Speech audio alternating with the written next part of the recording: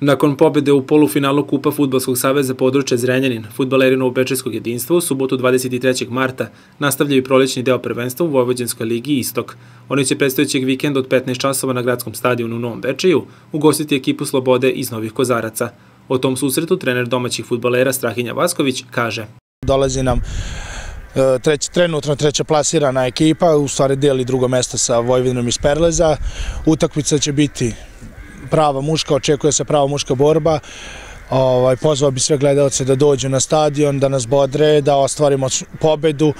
Naravno, cilj nam je da pobedimo i da dođemo što više, da se zadržimo u tom ovaj, gornjem domu tabele. Futbaleri jedinstva trenutno zauzimaju peto mesto na tabeli prvenstva sa osam pobjeda, sedam poreza i dve nerešene utakmice uz 26 osvojenih bodova.